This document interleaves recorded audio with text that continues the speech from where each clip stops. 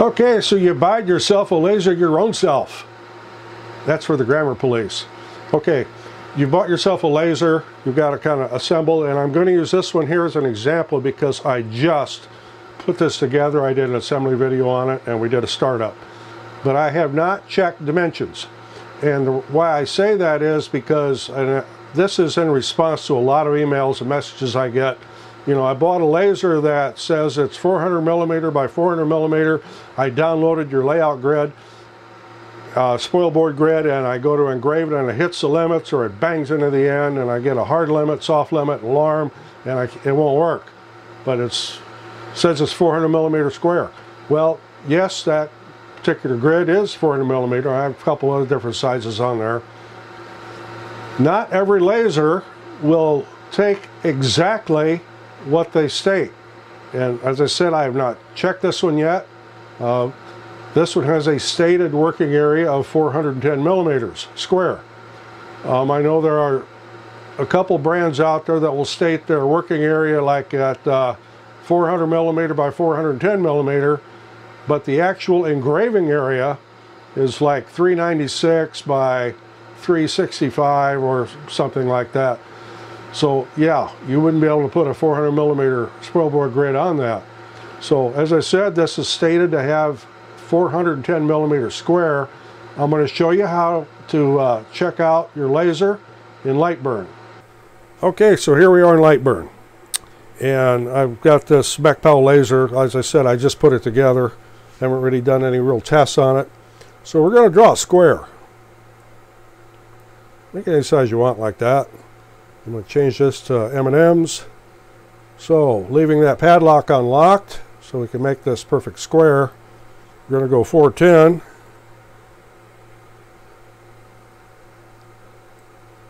And 410. So now we have a 410 millimeter square. We're not actually going to cut or engrave this, so it doesn't matter what your layer setting is. It makes no difference. Um, set yourself up to absolute coordinates. We'll go up here to this little cross and center that. Now that is a 410 millimeter square, exactly, and the stated working area on this laser is 410 millimeter square. So now we're going to go and we're going to frame this and find out.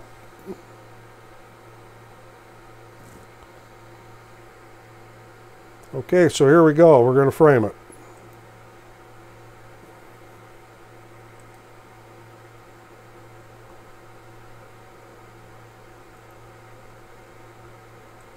Well, why am I not getting... Okay, by rights, this should be framing, but it keeps telling me I have no layer set to output, although it is set to output. So I'm going to change my dimension here to uh, 409.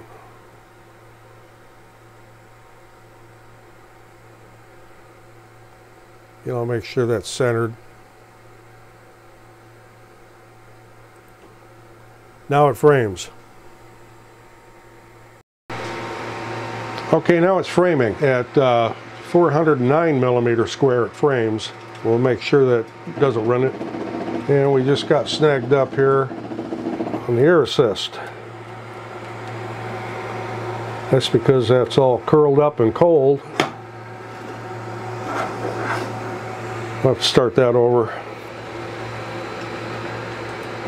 So I'll stop that and send it back home. Frame this again.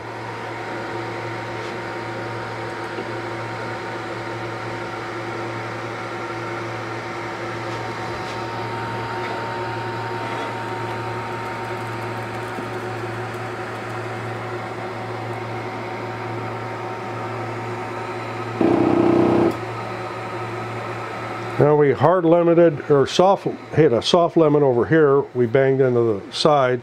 So that's not going to work. So we'll take stop that. We'll send it back home. Okay, so now I am going to change this to 408. And what I'm watching for here is the nozzle that goes into the side of the uh, this for the air assist actually runs into the frame over here. So I'm going to have to alter my dimension again. I disconnected my air assist uh, hose because it was it's so curly and stiff that it was dragging the pump around with it. Let's see how we do on the y-axis. Okay, we're good there. Okay, because I was running into this interference on the right hand side of this particular laser and I could see where it was hitting. It was hitting on that air assist uh, connection to the laser head. So in this particular case on this one, uh, I've played with this till I've got it down to my actual operational engraving area on this particular laser stated at 410 by 410 on the x-axis is actually 385 and on the y-axis 408 uh, this was a unique situation here with that air assist nozzle hitting over there. So therefore when I kept changing my uh, framing here I had to set this so that it started over here on the left side that's where it homes to so uh, when I would start to frame, I couldn't start framing from like over here because I, for example, if I uh, would move this over to here and center it, well, it's still going to hit on that right hand side because of the air assist nozzle. So I have to set it over here.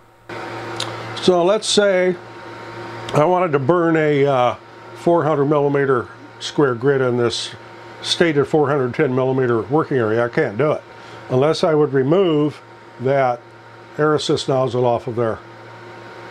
That's uh, a quirk to this particular laser. So you can see my, you know, the stated engraving area is 410 by 410. In reality, it's 408 on the Y and 385 on the, uh, yeah, 385 on the uh, X-axis. So now I think what I'm going to do is I'll just go grab another laser that I actually haven't done this check on and we'll see what it does. Okay, here I've got a uh, Adizor P20 connected on here. I've never run this test on here. I've usually just used this for engraving on some big things where I just take this wherever I'm going. Doesn't have a baseboard. Uh, something I've always intended on doing, and now that I drug it down here, I may do that.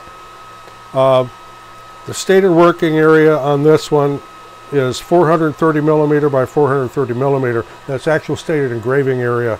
So I've made a 430 millimeter square and I've centered it on here, again working from absolute coordinates. We'll frame this and see how it goes. So here we go to frame this at 430 by 430 and we'll see what it does.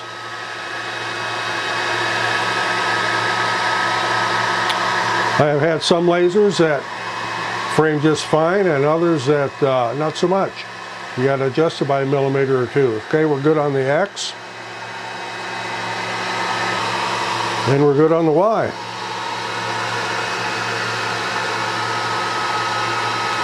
So this one is what it's stated to be, and I have had others where it's stated to be, and some that are off by one or two millimeters. Uh, that the one we did here at first, if if it wasn't for that air assist nozzle uh, connection on the side of that laser head, it, it probably would have gone uh, its full 408, 410 millimeter but because that sticks out so far, you're limited to 385.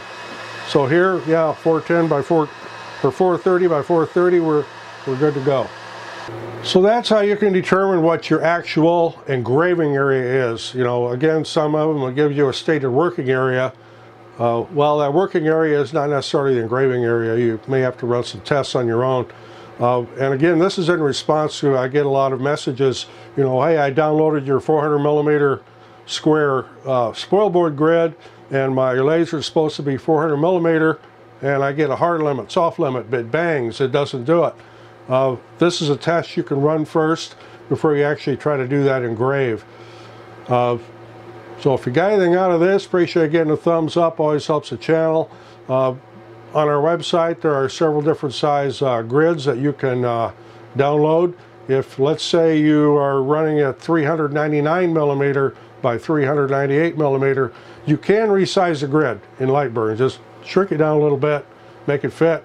No, those 10 millimeter spacings will no longer be precise, but unless you're building a space shuttle, uh, you may not need that. This, the center will still be the center, and the lines will still keep you square. Just the measurements will be off just a hair. So, I'm Roger in the shop. Thanks for watching. See you in the next one.